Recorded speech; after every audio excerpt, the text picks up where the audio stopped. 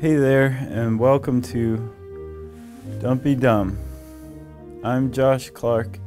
Thank you for joining me.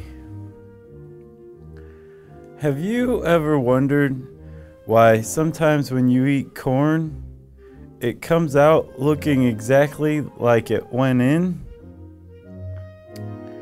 It turns out that that's because humans can't digest a lot of the corn.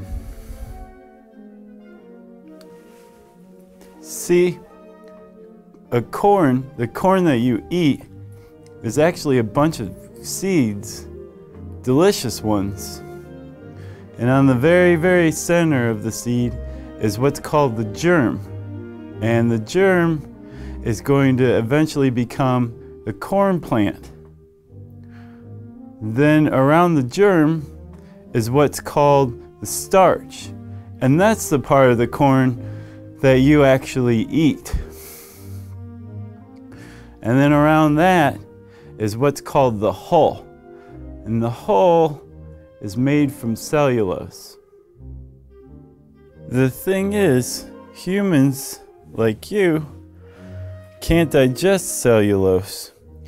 We don't have the enzymes to digest it, and the bacteria in our guts can't digest it either which makes it indigestible.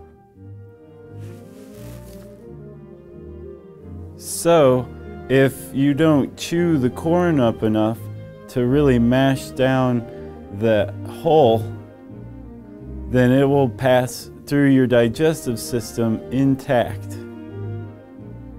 And it will make it all the way. But that's not such a bad thing.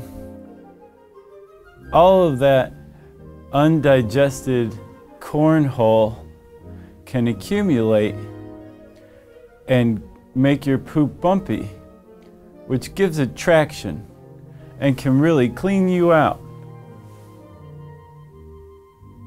And if you pooped in a meadow and a corn kernel survived intact, then that kernel would protect the germ inside and a corn plant could grow using your poop as a growing medium. So the next time somebody tells you that it's bad if corn shows up in your poop, you set them straight and tell them Josh sent you. Thank you for joining me.